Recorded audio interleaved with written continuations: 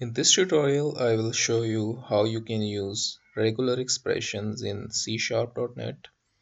Regular expressions are very powerful techniques which is often used to uh, validate some sort of patterns in a data. Regular expressions are widely used in different languages. In C-sharp.net, regular expressions can be utilized to validate some sort of data whether this data is coming from a form data XML data or whenever you are dealing with some APIs there are a lot of possibilities which you can avail while using regular expressions. So how does these regular expressions works? Basically in regular expressions we have a pattern which is specified by the user so the pattern is evaluated by the regular expression class and afterwards if this pattern is satisfied in the given data the corresponding text is retrieved in the form of a string or integer depending upon the requirements. So in order to utilize these regular expressions, first of all you have thorough knowledge of the regular expression classes. For that you must import it use, uh, using the using keyword of .NET framework. This is present in the system.text.regular expressions. And if you have to utilize it you just have to call the static methods of this regex class.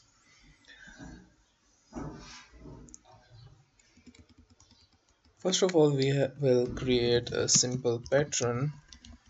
Let's say I just want to fetch the month and afterwards the date from the given pattern or the text. So what I have to do I will first specify the pattern. So for that you have to write at the rate sign. And after that since we are interested only in a month name so what I will do the month name can be in lowercase or in uppercase. So I will write A to Z. Any character can be present from A to Z. And capital character can be present. And after that I will write slash d which means I should have some sort of uppercase or lowercase characters followed by a space then followed by any digit.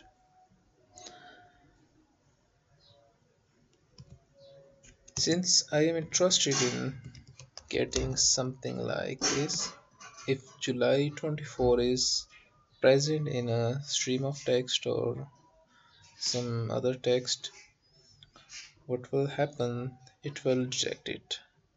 But here such input will only detect a single character.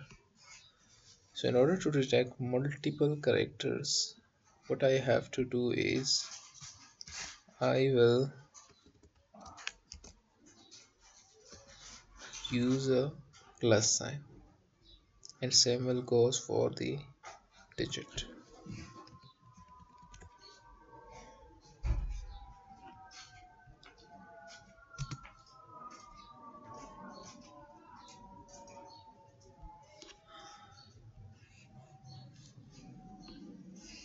now as you can see I have got this pattern which will detect month name followed by the date.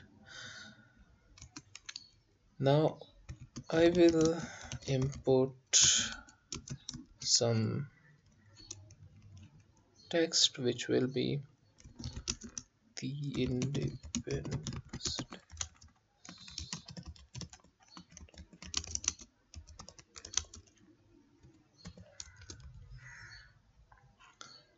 now my goal is to find the month and date inside this import text. So what I will do I will use this regex class followed by the match method and I will input the corresponding text followed by the patron. Now if match comes out to be success then I will just show up the value which this patron has found in this text. So let's see.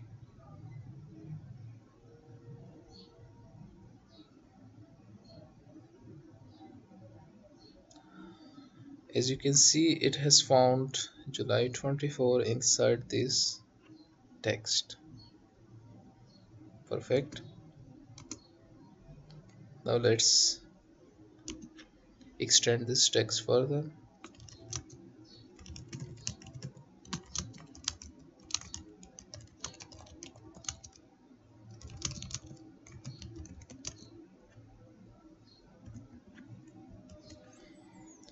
Now if you if you see here we have two different months and dates this is July 24 and this is August 21 let's see what will happen. It has only detected July 24 if you want to fetch couple of uh, months and dates from such text we have to use match collection. So match collection will be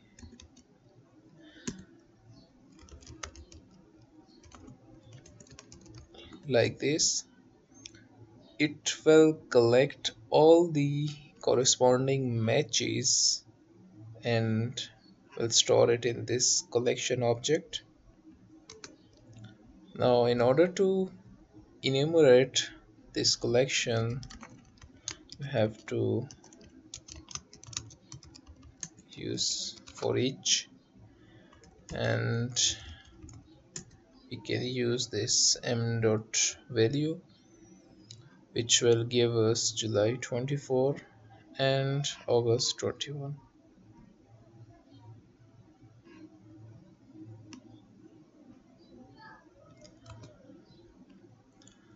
so this is how this was a basic example which you can utilize to evaluate any type of expressions. Let's say we want to evaluate a phone number.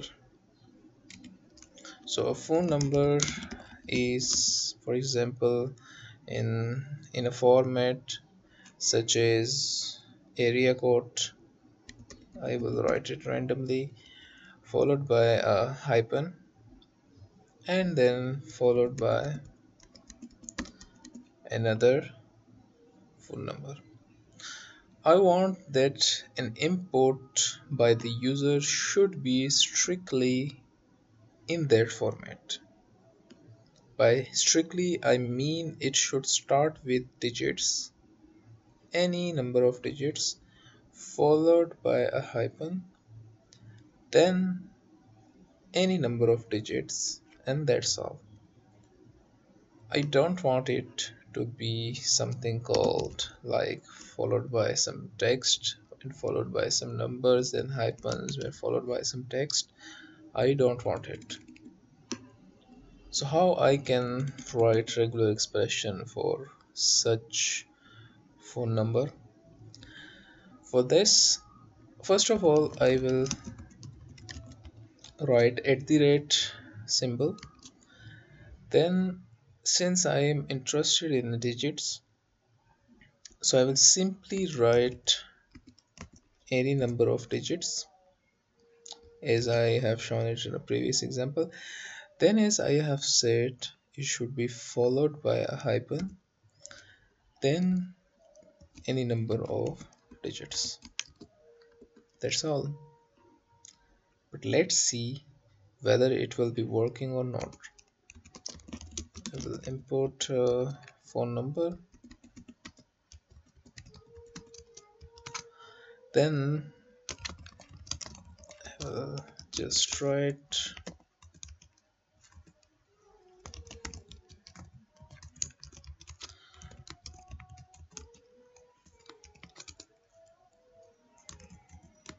phone number is valid else? No valid phone number. Let's see what happens. It is saying phone number is valid. Perfect. But let's give it following phone number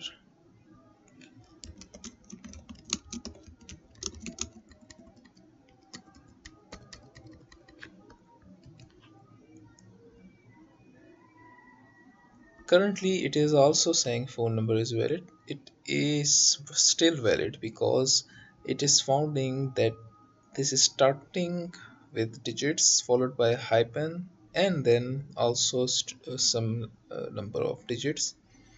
But we but we want that this should only be a phone number not followed by some sort of text spaces or anything else. So how we are going to achieve it for this there is another uh, you can say a regex parameter for expression. Uh, a parameter is not a suitable word but you can say a character which is placed before and after this uh, expression. This is called this symbol. And once this is used here. You have to use a dollar sign at the end. So as you can see it is started by this symbol and ended by this dollar sign. Normally this is called cap so we can say it should start with a cape and end with a dollar sign. I have these couple of uh, different these extra symbols where you can see here it should starts and ends. So by starts and ends it means that the regular expression will strictly follow that it should start with digit followed by hyphen and it should end with some digits. Nothing else nothing more. So let's see for this import what will happen. As you can see this is not a valid phone number. If I provide an extra space here it will still says no valid phone number also if I follow a single space after this phone number it will also say no valid phone number. But if I only provide the phone number followed by this pattern strictly it will say this is a valid phone number. This is the power of regular expression which you can utilize in your applications. So in the next example, let's see how we can create a validation for an email address followed using such a technique. So as you can see, uh, an email address can be of any type, but for that example, let's say I want that my email address can contain alpha numeric characters which equals to 1 to 3 up to 9 and a to z or a to z. As followed here any alphanumeric character we can use backslash w. So our string can be in the form of such as or or like. If it it could be anything including this string or sorry uh, numeric characters or alphanumeric characters or just alphabets etc. It should be anything. So for this let's say I want it to be alphanumeric and followed by a at the rate sign. And after that I want it strictly to be alphanumeric.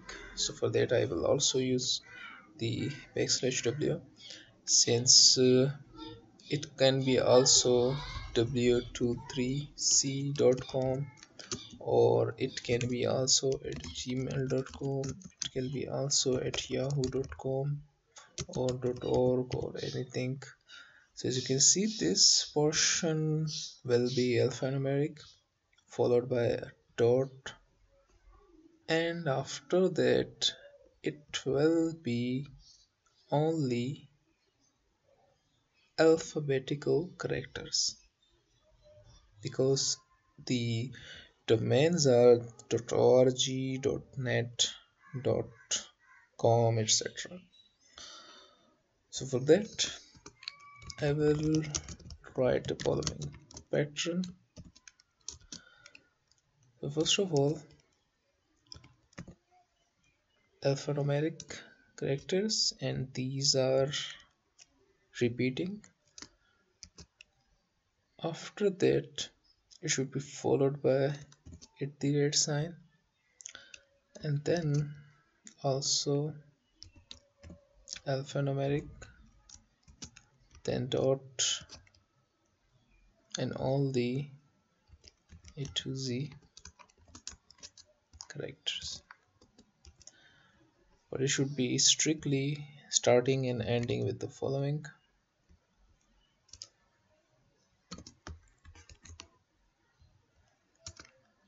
now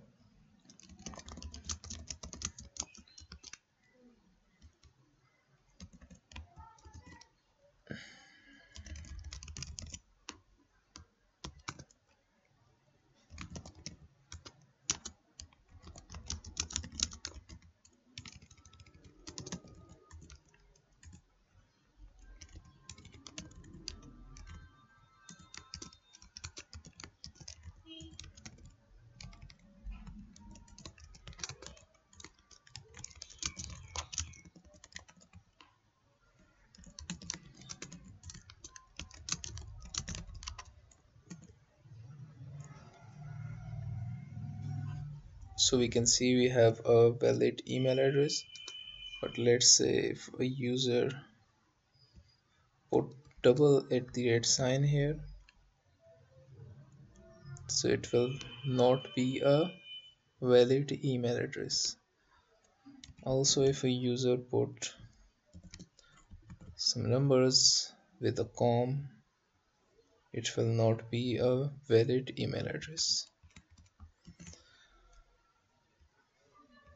I will attach this document with this video.